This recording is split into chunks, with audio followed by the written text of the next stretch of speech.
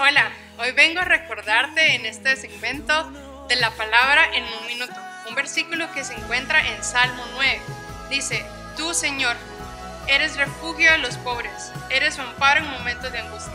En ti confían los que conocen tu nombre, porque tú Señor proteges a los que te buscan. Yo te animo, si vos conoces a Dios, es conocer a tu Dios, es conocer que tenés un Padre, que tenés un refugio, que tenés un lugar a donde ir en. Él prometió que no nos iba a abandonar y este es un momento perfecto para buscar en Él nuestra fuerza, para buscar en Él nuestro escudo y nuestra protección.